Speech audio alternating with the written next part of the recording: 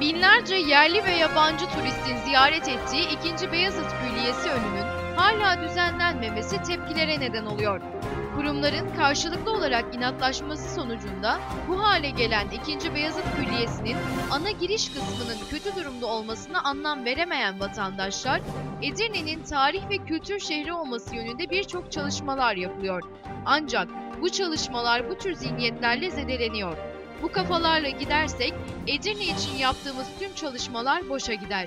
Edirne için inatlaşmayı bırakıp bir an evvel Edirne için el ele verme zamanıdır. Böyle yaparak Edirne'nin imajını zedeliyoruz şeklinde sistemde bulundu.